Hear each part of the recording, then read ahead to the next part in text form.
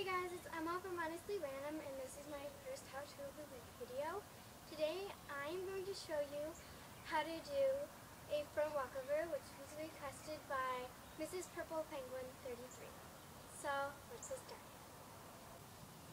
First thing you need to do is if you have long hair, put your hair up in a ponytail so that you don't step on it when you're doing your front. Okay, to do a front walkover, you should know how to do a handstand after handstand and a bridge and recover. A bridge and recover is when you go into a bridge and then you just stand up. Um, to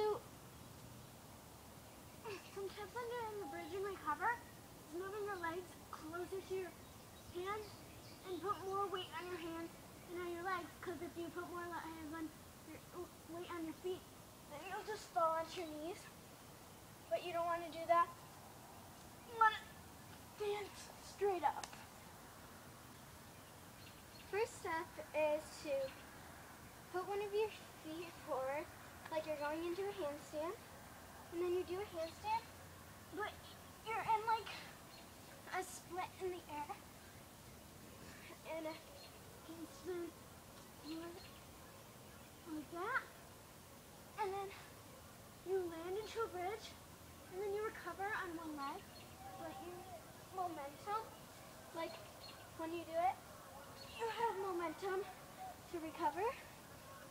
So you're in your bridge, and, and then you've landed,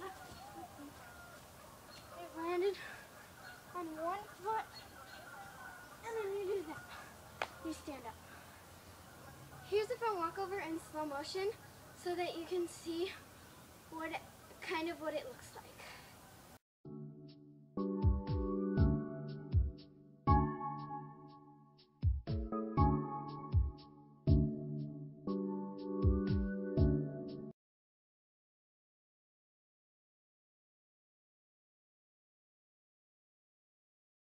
Hope this helps. Be sure to comment down below on any type of tutorial that you want me to do next and you can earn yourself a shout out and a subscribe. Thanks for watching. See you next time on Honestly Random. Bye!